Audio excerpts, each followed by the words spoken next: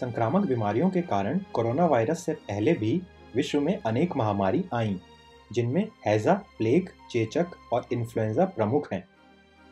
क्या आपको पता है कोरोना वायरस शरीर की शक्तिशाली प्रतिरक्षा कोशिकाएँ या इम्यून सेल्स जो बाहर से आए बैक्टीरिया और वायरस को नष्ट करती हैं उनको नष्ट करता है जिसके बाद कमज़ोर प्रतिरक्षा या इम्यूनिटी के कारण अन्य मौजूदा बीमारियाँ घातक साबित हो सकती हैं? चलिए बात करते हैं कोरोना वायरस से पहले आने वाली सबसे घातक महामारी और उनके प्रकोप के बारे में। एंटोनाइन का प्लेग रोमन साम्राज्य में एक ईसवी और उसके अगले कुछ दशकों तक चलने वाली एक विनाशकारी महामारी थी, जिसने 50 लाख से भी ज़्यादा लोगों को अपना शिकार बनाया।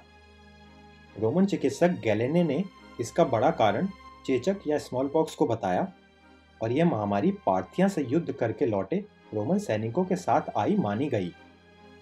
इस प्लेग के बाद वहाँ ईसाई धर्म तेज़ी से लोकप्रिय हुआ। 1855 में फैली तीसरी प्लेग महामारी ने दुनिया भर में करीब सवा करोड़ लोगों की जान ली। जस्टिनियन और ब्लैक डेथ प्लेग के बाद यूरोप में फैलने वाली ये तीसरी बड़ी ब्यूगोनिक प्लेग महामारी थी।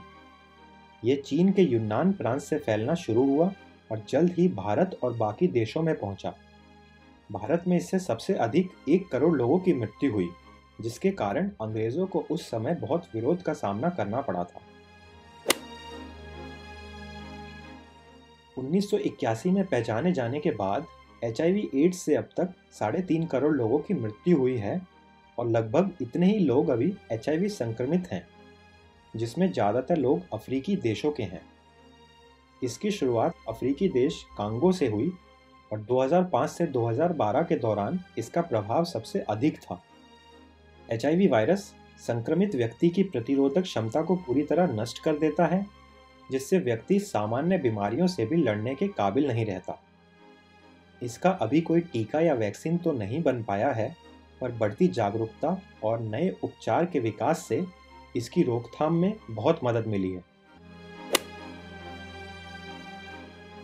जस्टिनियन का प्लेग ब्यूबोनिक प्लेग का प्रकोप था, जिसने बिजान्टिन साम्राज्य और मेडिटेरेनियन या भूमध्य सागर के क्षेत्र को अपनी चपेट में लिया था।